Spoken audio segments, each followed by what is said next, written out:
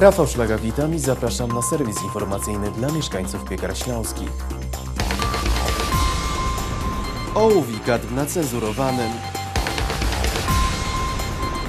Dworzec autobusowy zostanie wyremontowany. Uczniowie z Piekar Śląskich zmierzyli się z ortografią. Chrońmy dzieci przed ołowiem i kadmem. To tytuł konferencji zorganizowanej w Instytucie Ekologii Terenów Uprzemysłowionych w Katowicach. Zarówno ołów, jak i kadm są pierwiastkami zbędnymi dla człowieka. O szczegółach w materiale. Czy wiedzą Państwo, że od 50 do 70% ołowiu i kadmu dostaje się do organizmu dziecka drogą pokarmową, do 20% tych metali wdychamy, a ołów pozostaje we krwi przez 30 dni, a w kościach od 40 do 90 lat.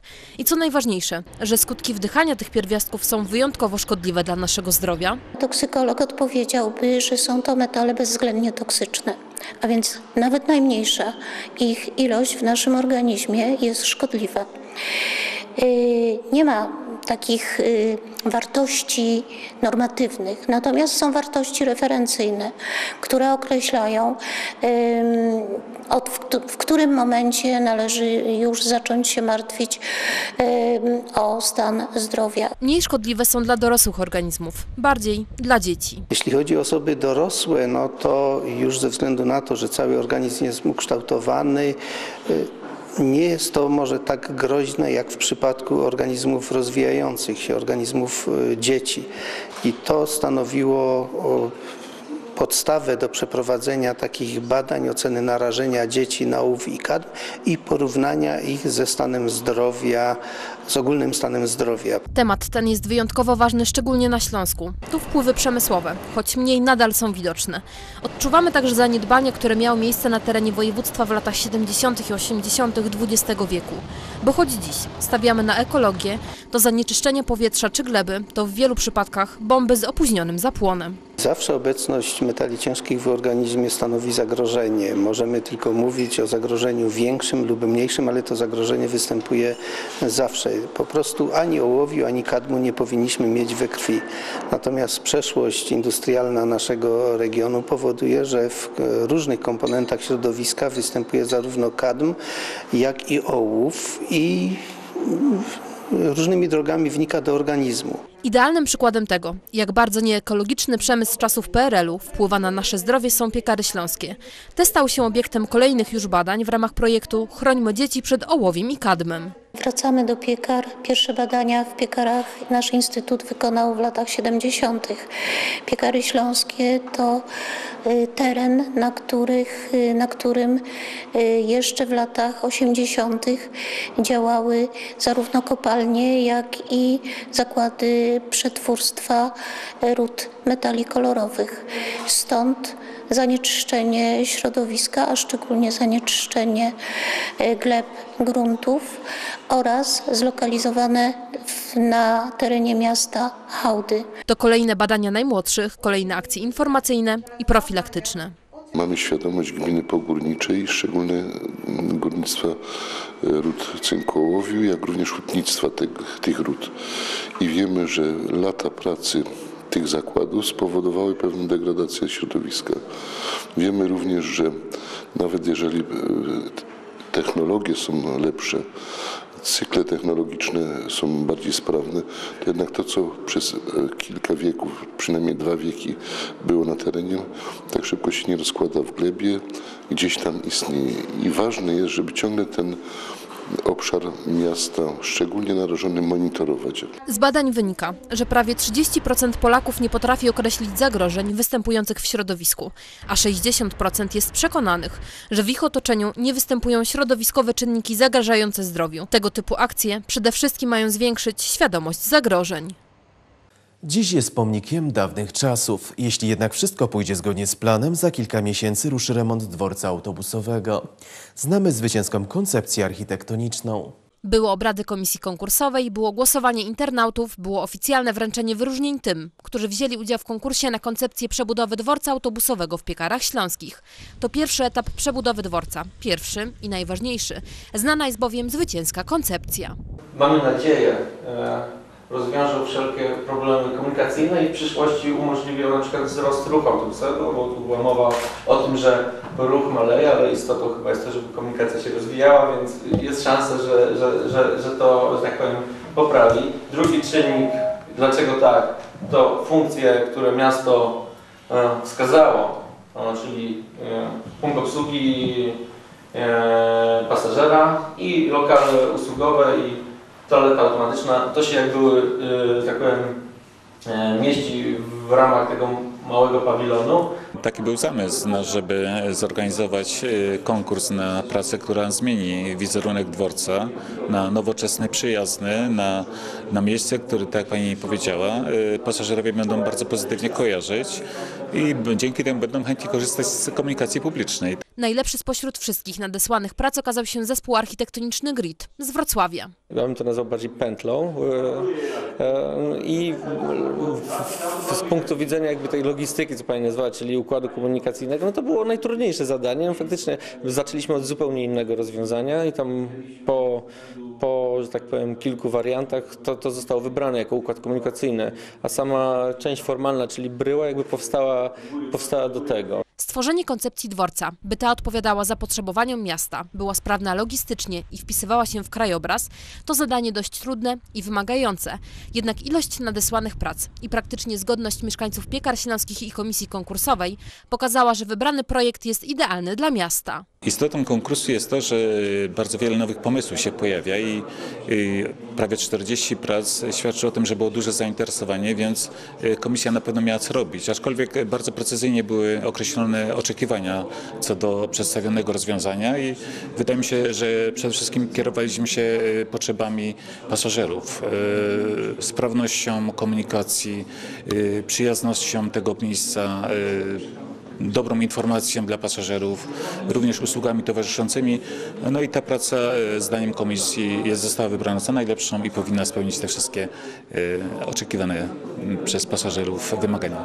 Głosować bowiem mogli także mieszkańcy. Poprzez internet oddawać mogli głosy na ich zdaniem najlepszą koncepcję dworca. Było bardzo duże zainteresowanie, jeżeli chodzi o mieszkańców i internautów, bo prawie 6 tysięcy osób zagłosowało w naszym plebiscycie.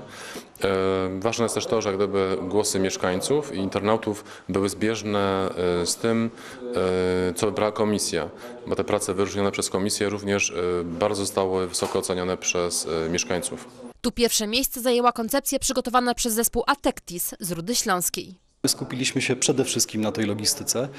No i powiedzmy, poszliśmy na kompromis tak jakby z, kompro- z komfortem pasażera. Mm, Idąc dokładnie tokiem rozumowania założeń konkursu, y, uzyskaliśmy taki efekt, no i ten efekt uzyskał pozytywną ocenę. No jednak okazało się ostatecznie, że to nie była najlepsza strategia, ponieważ najlepsza strategia dotyczyła jednak komfortu pasażera. No i ja się zgadzam z takim werdyktem, jeżeli y, komisja tak postanowiła. No, Jeśli wszystko przebiegnie zgodnie z planem, jeszcze w tym roku nastąpi rozstrzygnięcie przetargu budowlanego i rozpoczęcie prac. Kolejny raz do walki z trudną ortografią stanęli młodzi mieszkańcy Piekar Śląskich. Wymyślałyśmy już półżartobliwe hece, tudzież poważne teksty. Takim tekstem zmierzyć musieli się ci, którzy zdecydowali się wziąć udział w kolejnej już edycji piekarskiego dyktanda. Co najważniejsze i dla wielu najbardziej zaskakujące, tych, dla których ortografia nie jest straszna, z roku na rok jest coraz więcej. udział w, e, wstępnie w, e, w swoich szkołach bierze według mojej oceny kilka tysięcy uczniów. Natomiast tutaj już ściśle ograniczone. Dzisiaj mają każde gimnazjum, każde liceum, każda szkoła e, ponadgimnazjalna dziewięć miejsc Teksty w tym roku, podobnie jak w latach ubiegłych, były dwa. Jeden dla podstawówek, jeden dla gimnazjów i szkół ponadgimnazjalnych. Ten w podstawówkach, zdaniem niektórych, był aż za prosty. Być może dlatego tegoroczna edycja była wyjątkowa. Po raz pierwszy od sześciu lat została dziewczyna mistrzem piekarskiej ortografii. Pierwszy raz bezbłędnie napisana praca. Tekst dla tej trochę starszej młodzieży był trudniejszy. Staraliśmy się, żeby było bardzo trudne. No chodzi głównie o to, że te łatwiejsze dyktandy dla takich uczniów, którzy przychodzą na, to, to jest po prostu e, za łatwe, za niski poziom, jak to określili nam wczoraj, nawet właściwie podstawówki powiedziały, że za łatwe było to dyktando. Żadnych trudnych rzeczy. Ilość chętnych pokazuje, że język polski, choć zawiły, nie odstrasza, a zinformatyzowanie społeczeństwa wcale nie doprowadzi doprowadziło do tego, że zapominamy o poprawnej pod każdym względem polszczyźnie. Staramy się dyktanty między innymi oswoić jakoś z ortografią, a że uczestników mamy coraz więcej, więc myślę sobie, że jednak jakiś sukces osiągnęliśmy. Naszym celem jest krzewienie poprawnej polszczyzny i ja myślę, że spełniamy tą Najlepsi z najlepszych okazali się w tym roku w szkołach podstawowych Karolina Koryciosz, w szkołach gimnazjalnych Hanna Białas, w szkołach ponadgimnazjalnych Paweł Kaszuba.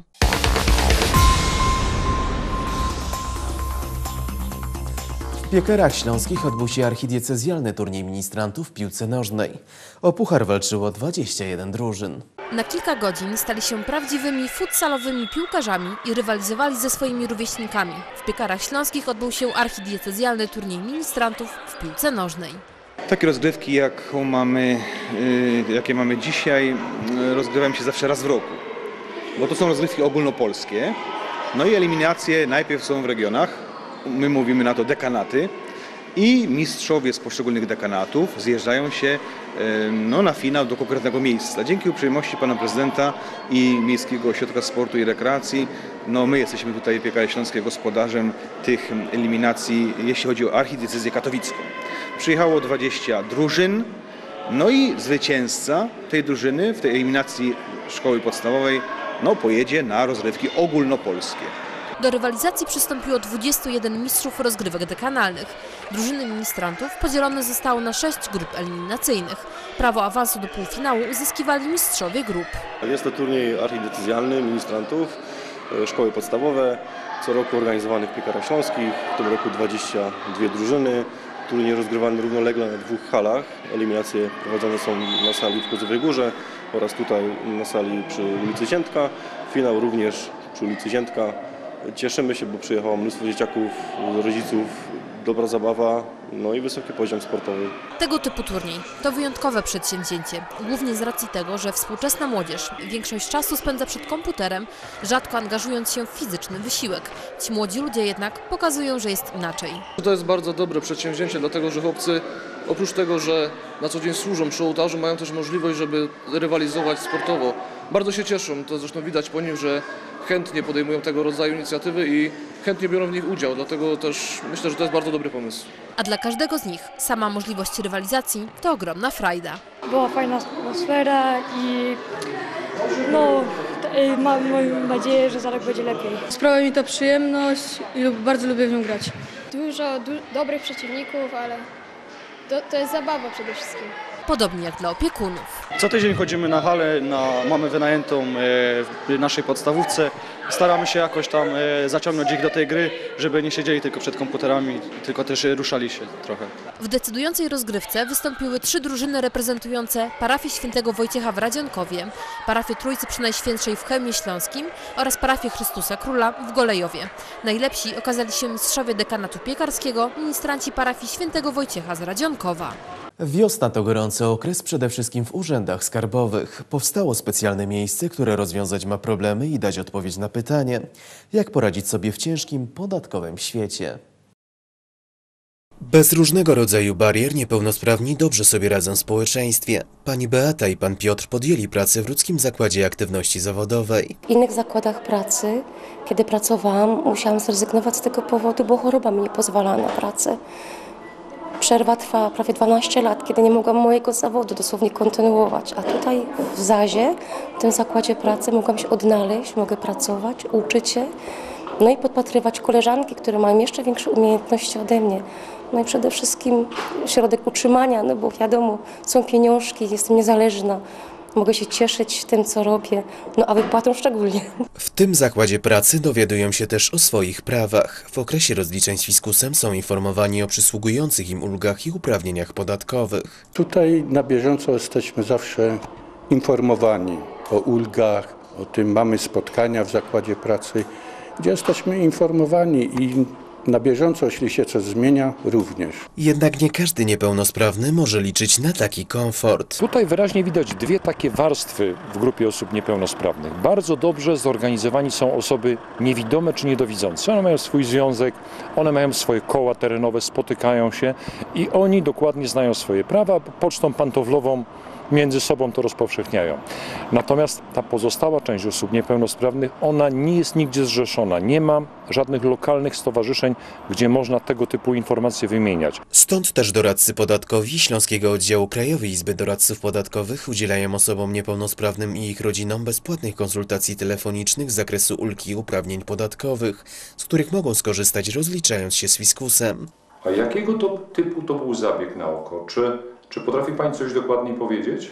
Zazwyczaj y, mamy taką częstotliwość, że do kilkudziesięciu porad telefonicznych dziennie, czyli w każdy wtorek i w każdy czwartek podczas trwania akcji doradcy podatkowi udzielają odpowiedzi na pytania. Porad można zasięgnąć pod numerem telefonu komórkowego 513 152 218. Doradcy udzielają konsultacji we wtorki i czwartki w godzinach od 9 do 15. Przed pięciu laty skontaktowaliśmy się, już nie pamiętam, czy nasza inicjatywa, czy inicjatywa Marszałka Województwa, z panem Janem Zielińskim, który jest w Urzędzie Marszałkowskim pełnomocnikiem do spraw osób niepełnosprawnych. I na skutek jego kontaktów w środowisku uznaliśmy, że tego typu akcja jest potrzebna. Jak się okazuje, piąty rok sprawdza się. Pytań, z którymi dzwonią niepełnosprawni jest wiele. Doradcy podatkowi służą swoją wiedzą. Taki przykład. Osoba niepełnosprawna, unieruchomiona w domu, sprawa kłopotów z kończynami dolnymi, pytała, czy może kupić laptopa. W normalnym pojęciu laptop jest przedmiotem no, nie bardzo pasującym do ulgi rehabilitacyjnej, ale jeżeli się dobrze przyjrzymy i zapytamy, do czego ten laptop jest potrzebny, to się może okazać, że tak, że laptop może być odliczony w ramach tej ulgi, bo ta pani robiła zakupy przez internet, ta pani kontaktowała się z rodziną. Ten przedmiot ułatwiał jej wykonywanie czynności życiowych, stąd uważamy, że można go zaliczyć w ramach tej ulgi. Ulg i uprawnień podatkowych, które przysługują niepełnosprawnym jest wiele, jednak żeby z nich skorzystać trzeba pamiętać o podstawowych sprawach, apeluje pełnomocnik do spraw osób niepełnosprawnych. Podstawowym takim y, zagadnieniem, o którym należy pamiętać przy okazji korzystania z tych uprawnień dla osób niepełnosprawnych bądź y, osób, które mają na otrzymaniu os osoby niepełnosprawne, jest aby posiadać stosowne dokumenty. Po pierwsze orzeczenie o niepełnosprawności bądź o stopniu niepełnosprawności, powtórę, odpowiednie zaświadczenia lekarskie, no i rzecz oczywista faktury, rachunki, paragony, które dokumentują poniesione wydatki. Rozliczając się z fiskusem, warto wiedzieć, z jakich ulg i uprawnień możemy skorzystać. Warto też pamiętać, że jest to jedyna w roku okazja do tego, by przekazać 1% podatku na rzecz organizacji pożytku publicznego. Ten z kolei warto zostawić w województwie śląskim, przekonuje Joanna Stępień, pełnomocnik marszałka do spraw organizacji pozarządowych i równych szans. Ja co roku apeluję do mieszkańców, ażeby skorzystali z jednorazowej, raz w roku mają taką niepowtarzalną okazję, wsparcia swoich znajomych, zaprzyjaźnionych, zamiedzy, po sąsiedzku, organizacji pozarządowych, które znają, wiedzą co robią. 1% podatku to nic nie kosztuje, a może pomóc innym, tym, którzy potrzebują pomocy, a żyją blisko nas. To już ostatnia dzisiejsza informacja. Dziękuję za uwagę. Do zobaczenia.